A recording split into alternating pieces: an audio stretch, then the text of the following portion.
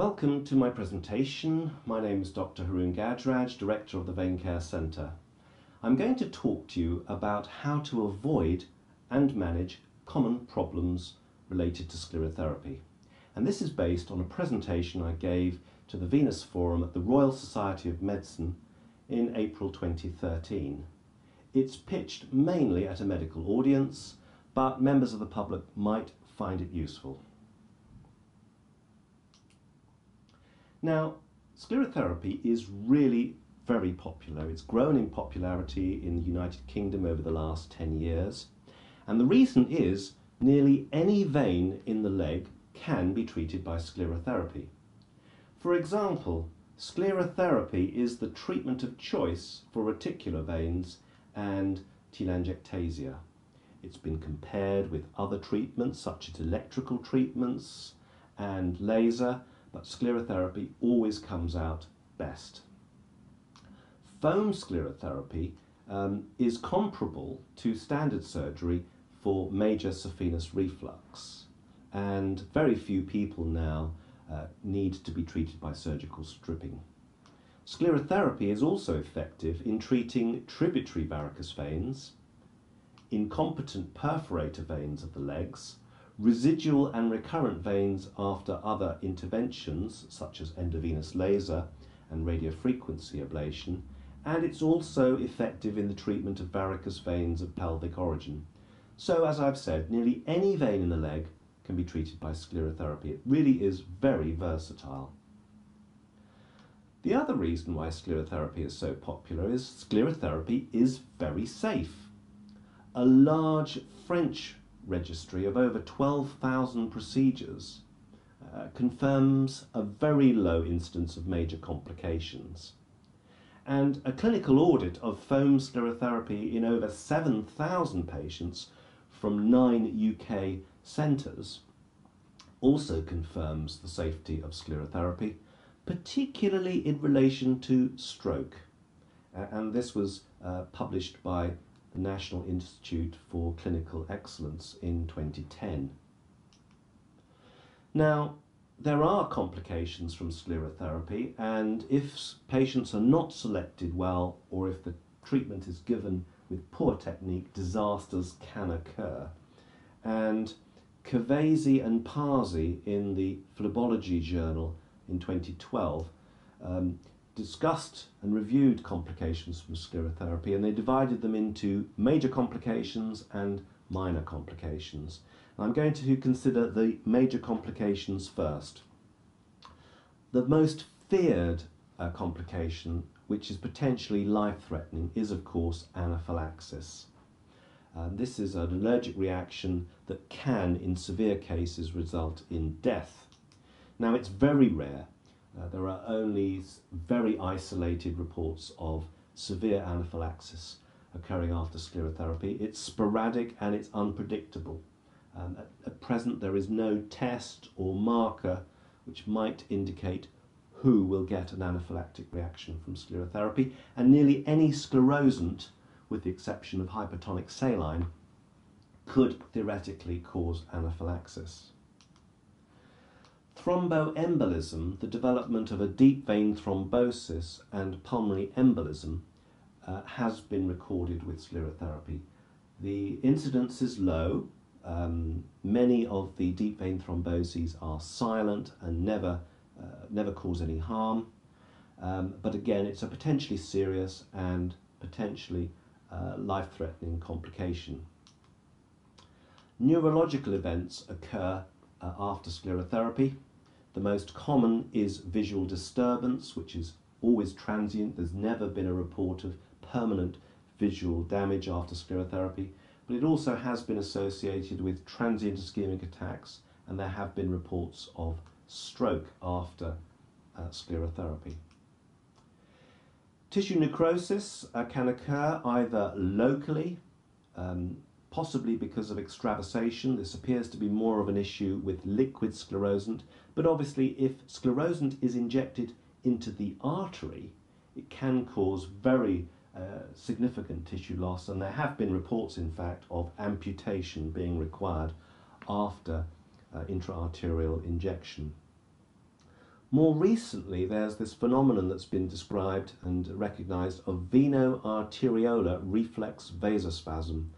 That is, uh, little arterioles near veins that are being injected can go into very intense spasm, so severe that the skin usually becomes very white and there can be associated skin loss. There have also been reports of nerve damage, both sensory nerve damage and motor ner nerve damage, and this appears to be a particular issue or a particular risk, though it's very rare, of course, uh, in the popliteal fossa behind the knee. Um, less common is swelling, edema after sclerotherapy. This appears, again, it's very rare, but this appears to be an issue mainly after small saphenous vein sclerotherapy. It's associated with intense phlebitis and um, it can sometimes be associated with poor bandaging or stocking fitting. So those are the major complications identified by Cavezzi and Parsi. More minor complications include telangiectatic matting. This is the appearance of very fine new blood vessels in the skin near injection sites and they can be very upsetting to the patient. They can um, mar a, an otherwise very good cosmetic result. They can occur, this telangiectatic matting can occur after um, surgery as well, um, but it um, appears to be a problem after um, sclerotherapy. The incidence is probably in the order of uh, 10 to 20 percent. Uh, pigmentation can occur after um, sclerotherapy. Uh, I think some degree of pigmentation occurs in everyone, uh, but again, it uh, can mar a cosmetic result. And skin irritation is also another issue, either at the injection site or in relation to tapes or stockings. And uh, some blood, some uh, veins after they're injected develop clot within them, and the retained coagulum can cause uh, irritation and in continued uh, inflammation at the injection site. And this is not so much a complication, but uh, in my experience, it's one that needs to be managed quite carefully. That's disappointment. Um, some people have very high expectations, uh, what can be achieved from their treatment, and it's very important that during the, the uh, consultation, these uh, expectations are managed carefully. So those are the major and minor complications associated with uh, sclerotherapy. How do we avoid them? Well, as I've said, anaphylaxis is sporadic and rare. There's no test to identify who might get the problem, but I would suggest to you, uh, and you might think this reasonable, that if someone says they're allergic to a sclerosant, you wouldn't inject them. Of course, that's a, an absolute contraindication uh, to sclerotherapy. I also would suggest to you that if someone has uh, a number of allergies, they're very severely allergic to a number of various different things, perhaps if they've had an anaphylactic reaction to some other agent, you would, you would have caution. Thromboembolism, this is um, again a concern. If someone has a recent or acute deep vein thrombosis or pulmonary embolism, you would not wish to treat them with sclerotherapy. If they give you a history of a previous thromboembolism, if they have a known thrombophilia or they have an active cancer, that again might well be a contraindication to sclerotherapy. And if they have active acute superficial venous thrombosis, Again, this is a risk factor for deep vein thrombosis and sclerotherapy ought to be avoided in this group. Neurological events. Well, sclerotherapy is contraindicated in people who are known to have a symptomatic right to left shunt, particularly a patent foramen ovale.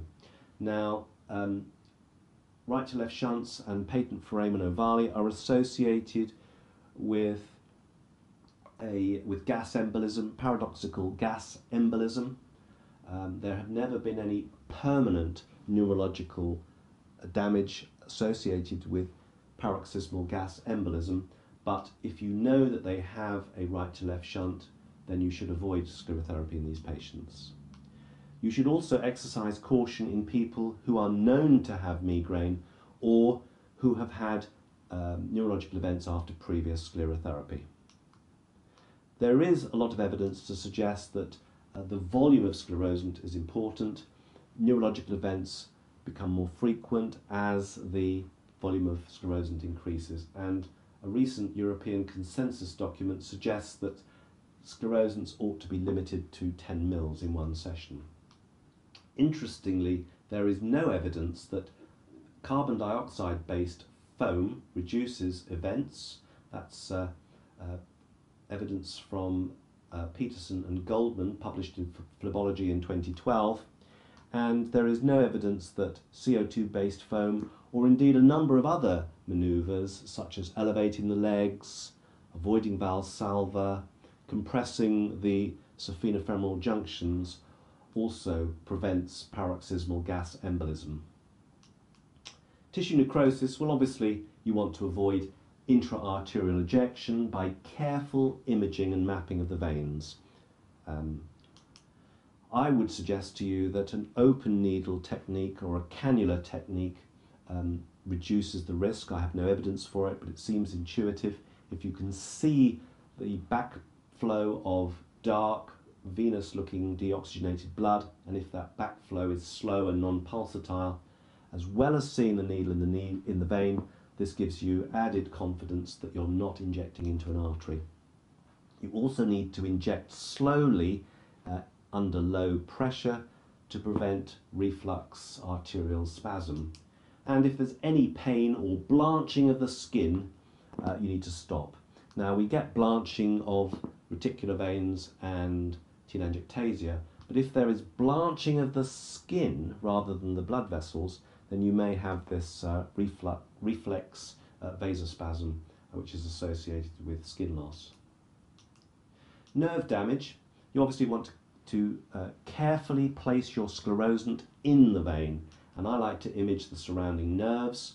Um, I like to uh, cannulate and inject in transverse section. It is controversial. A lot of people are very skilled at injecting in longitudinal section, and I have no problem with that.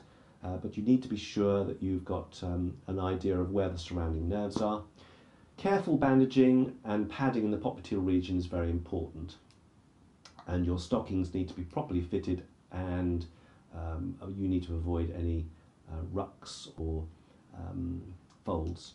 Edema, again, careful bandaging and well fitted stockings reduces this risk and you need to use care with people who've already got edema and limit the extent of your sclerotherapy sessions. Um, we know that telangiectatic matting can be uh, aggravated if there is persistent proximal reflux. Proximal reflux needs to be treated first, uh, and you need to consider using low volumes of appropriate strength sclerosant under low pressure. Pigmentation, I don't think you can avoid this. I think some degree of pigmentation is unavoidable. You can limit it, however, by using the lowest strength of sclerosant appropriate to the vessel, um, using good post-procedure compression, and releasing any retained coagulum as soon as possible. That limits the inflammation and limits the pigmentation that's partly melanin and partly um, extravasated um, red blood cells.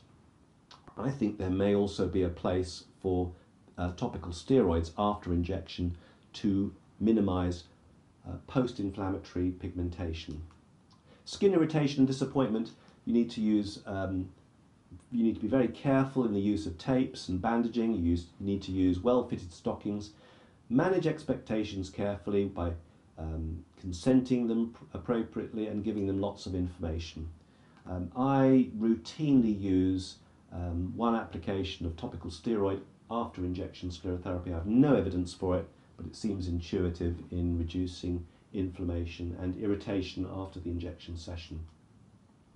So, in summary, uh, serious complications of sclerotherapy are very rare and most can be avoided by patient care by careful patient selection, very precise treatment imaging, making sure that the needle is in the vein uh, and injecting under ultrasound control. Minor complications are quite common, but fortunately they are usually uh, self-limiting. However, we know there's a general trend to increasing complaint and litigation, and that's very um, it's very important that we uh, give plenty of information, manage expectations, and consent our patients carefully before sclerotherapy. Anaphylaxis is unpredictable, and anyone providing sclerotherapy needs to be able to identify patients with anaphylaxis and manage it appropriately. Uh, and I think sclerotherapy should only be performed in an environment in which there's appropriate help and assistance uh, to provide resuscitation. In addition, for very rare and potentially life threatening or limb threatening complications, there need to be protocols and referral pathways uh, so that um, these problems can be dealt with appropriately and promptly. So, thank you for uh, this. Thank you for taking part in this presentation and watching. I uh, hope you've enjoyed it. Um, if you do, if you have, do subscribe to my YouTube channel. That way you'll be able to see uh, my latest video and keep up to date with all my developments. Thank you.